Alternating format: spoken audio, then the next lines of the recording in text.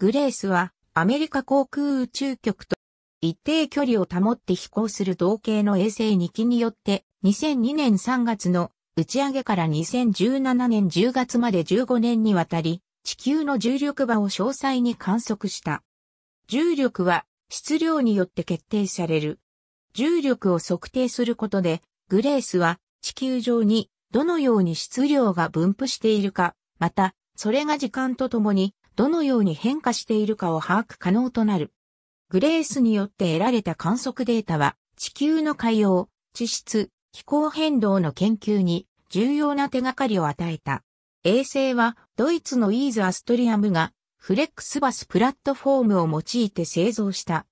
マイクロ波システムと高度計、制御システムのアルゴリズムは、 Space Systems、Loral、衛星の高度を測定するための恒星カメラは、デンマーク工科大学、高精度のブラックジャック GPS 受信機やデジタル、信号処理システムは、ジェット推進研究所、重力のデータから大気と太陽風の影響を除去するのに必要な高精度の加速度計は、フランス国立航空宇宙研究所で、それぞれ製造された。グレースは、テキサス大学の宇宙研究センター、NASA のジェット推進研究所、ドイツ航空宇宙センター、ドイツ地球科学研究センターが共同で開発した。ジェット推進研究所は全体のミッションのマネージメントを担当した。開発の責任者はテキサス大学宇宙研究センターのバイロン・タプリー。副責任者はドイツ地球科学研究センターのクリストフ・ライバーであった。グレースは2002年3月17日にプレセツク宇宙基地からロコットで打ち上げられた。口述する多くの観測成果を上げたグレースの運用は当初の5年の予定を大きく超えて延長され、後継機を打ち上げて観測期間をオーバーラップさせることが計画されたが、衛星のバッテリーは2013年頃より劣化を見せ始めた。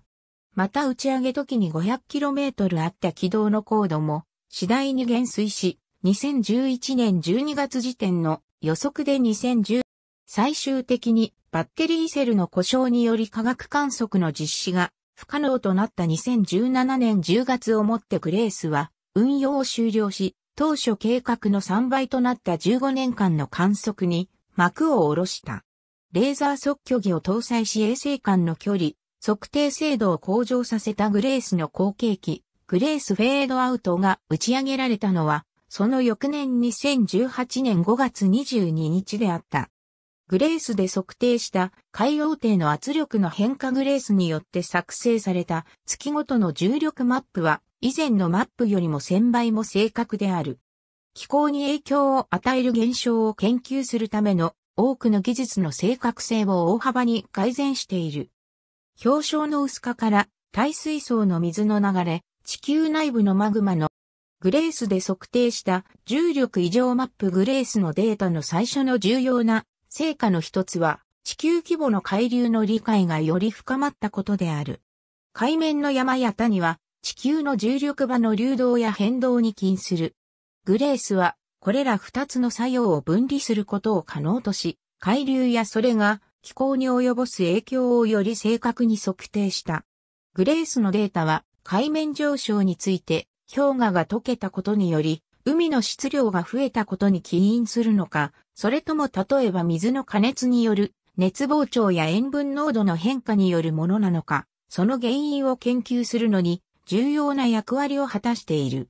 グレースで測定した地上の重力異常グレースで測定した海洋上の重力異常2012年2月の時点でグレースによって得られたデータはこれまで得られた中で最も正確な重力測定のデータである。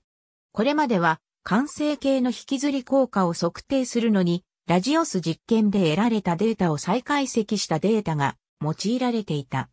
2006年、ラルフ・フォン・フレゼ・トララミー・ポッツのチームが、グレースのデータを用い、南極に約2億5000万年前にできたと考えられる幅 480km のウィルクスランドクレーターを発見した。アマゾン盆地の水循環や小表気流気現象の位置や大きさのマップ化にもグレースのデータが用いられた。また、2004年のインド洋津波を引き起こしたスマトラ島沖地震による地殻の変異の分析にも用いられた。また、グレースのデータを用いた海底の圧力の新しい計算法が開発された。グレースの観測をもとにした研究により、グリーンランドにおいては、氷床の融解によって2002年から2016年にかけ、年間で約280ギガトンの氷が流出したと発表されている。グレースは地球の表面で反射、放出、または地球や大気の内部を通過する電磁波以外のものを測定する、史上初めての地球観測衛星である。その代わりに、このミッションでは、高度 500km の極軌道を約 220km の間隔を置いて飛行する2機関の距離と速度の変化を測定するため、軽バンドのマイクロ波測距システムを用いている。測距システムは 220km の距離で10マイクロメートルの距離の変化を検出できるほどの精度を持っている。2機ずつのグレース衛星は地球を1日に15周し、地球の重力の変化を1分ごとに測定している。1機の衛星が重力の若干強い重力以上の領域に差し掛かると重力に惹かれて後ろの衛星との距離がわずかに長くなる。前方の衛星が重力以上の領域を通過し終わると再び速度が遅くなり、それと同時に後ろの衛星の速度が速くなり、その後同じ地点で再び遅くなる。2機の間の距離の変化を常に測定し続け、そのデータをグローバルポジショニングシステムからの高精度の位置データと結びつけることによって地球の重力の詳細なマップを描くことができる。トムとジェリーとあだ名された2機の衛星はお互いの間に常に2本のマイクロ波を維持している。それらの周波数の変化を比較することで、精密な測定が可能となる。衛星自身の動きは加速度計で測定している。これらすべての情報は地上局に送られる。規制位置の確定と衛星自身の維持管理のため、衛星は構成カメラ、磁気系、GPS 受信機も搭載している。また、地上局からのレーザー測距のため、コーナーキューブも積んでいる。ありがとうございます。